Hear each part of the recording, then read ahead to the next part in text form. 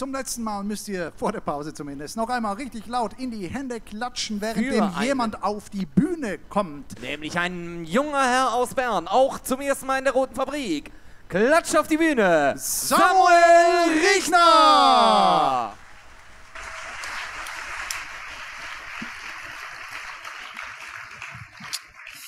Ja, merci. Ähm, ich bin nicht so Erfolgs- oder Notengel, weil ja, ich komme aus Bern.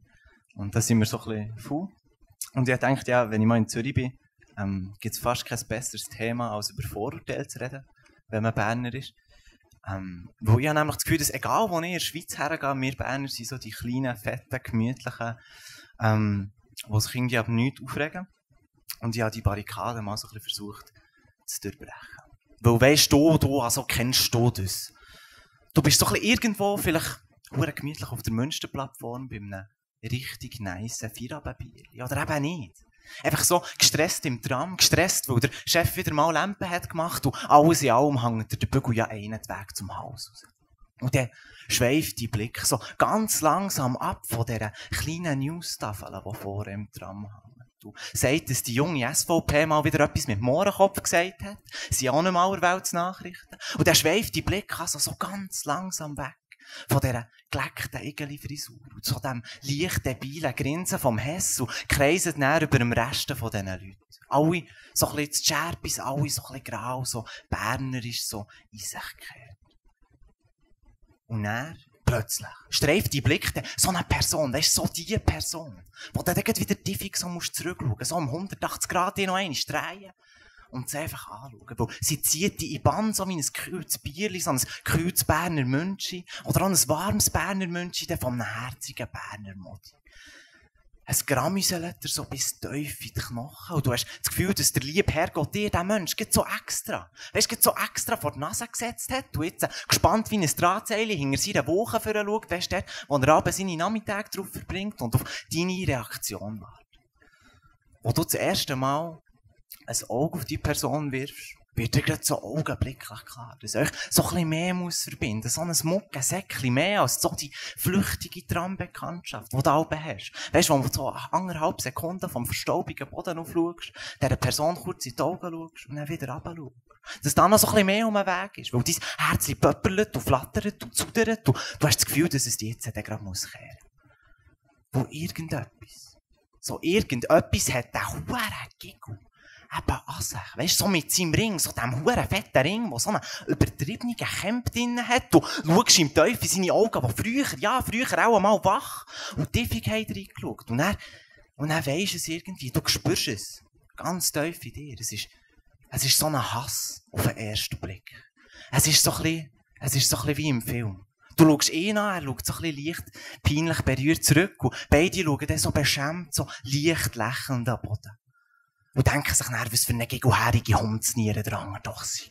Du weisst, die Mami hat dir aber immer und immer und immer wieder gesagt, dass die Leute nie, wirklich gar nie, an ihrem Äußeren solltest bewerten. Doch wie sollte man auch nicht?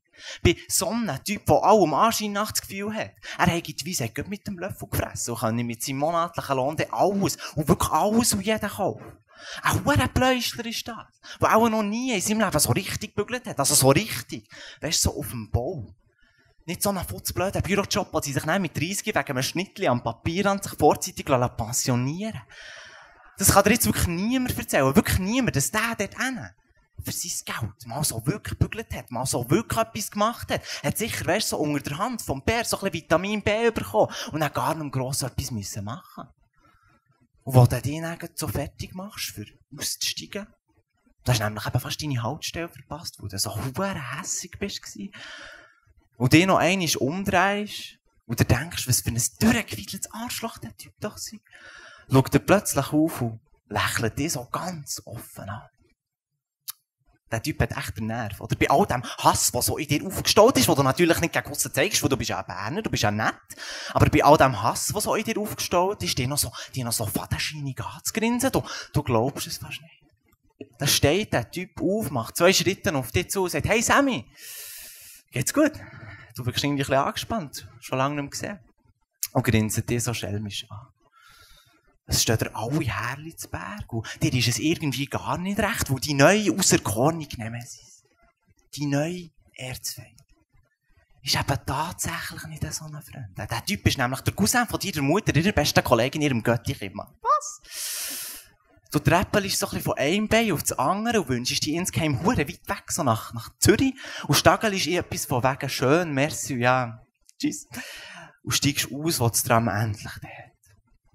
Wo du heimlaufst, so die paar Schritte, und dann darüber nachdenkst, dass der Typ ja eigentlich so irgendwie ein Muckensäckchen zur Familie gehört. Und wenn er jetzt der Cousin von deiner Mutter, ihrer besten Kollegin, ihrem Göttichen da nicht so mega nahe steht.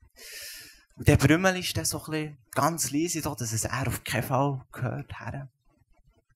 Ja, mal, der Typ, er ist eigentlich noch ein Feiner. Merci.